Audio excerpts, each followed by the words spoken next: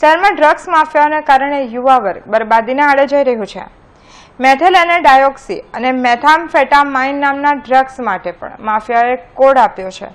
જેમાં જે યુવકો મોબાઈલ સપ્લાયરને વાત કરે છે ત્યારે તેને દવા તરીકે કે પછી ક્રિસ્ટલ ચાવલ અને પાંચ ગ્રામથી વધુ એમડીએમએ ડ્રગ્સ જોઈતું હોય તો બોચકા કોડનો ઉપયોગ કરે છે. ઝાંપા બજાર, ચોક બજાર, પમ્પિંગ સ્ટેશન, વરાછા, રાંદેર, બાપુનગર, અમરોલી કોસાડ આવાસ અને મુગલીસરામાં તે ડ્રગ્સના સપ્લાયરો છે જે એક ગ્રામના ત્રણ હજાર પાંચસોથી પાંચ હજાર જેવો ગ્રાહક હોય તેવા રૂપિયા લે છે. વળી આ સપ્લાય કરવા આવતા તેના પંટરો મોટે ભાગે ટોપી પહેરીને કે પછી વાળમાં કલર કરીને આવે છે. એમડીએમએ ડ્રગ્સનો પાવડર ગુટખામાં મિક્સ કરીને યુવકો પીતા હોય છે અને નશામાં તેની આંખ લાલ થઈ જાય છે.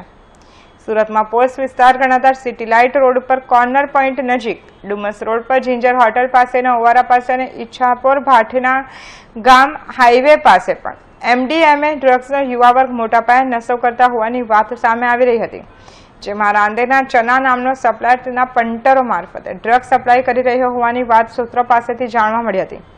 નાનપુરા બડેખા ચકલા હકીમ મુલેરીના મસ્જિદ પાસેથી. બે યુવકોને બે લાખની મેથલ અને ડાયોક્સી અને મેથામફેટામાઇન નામના ડ્રગ્સ સાથે પકડી પાડ્યા હતા. આ કેસમાં તપાસ સ્પેશિયલ ઓપરેશન ગ્રુપને સોંપવામાં આવી હતી.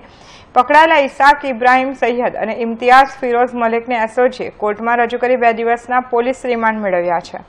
બંને આરોપી મુંબઈમાં બાંદ્રા ખાતે રહેતા ઇમ્તિયાઝ પાસેથી ડ્રગ્સ લાવી સુરતમાં છૂટક વેચાણ કરતા હતા.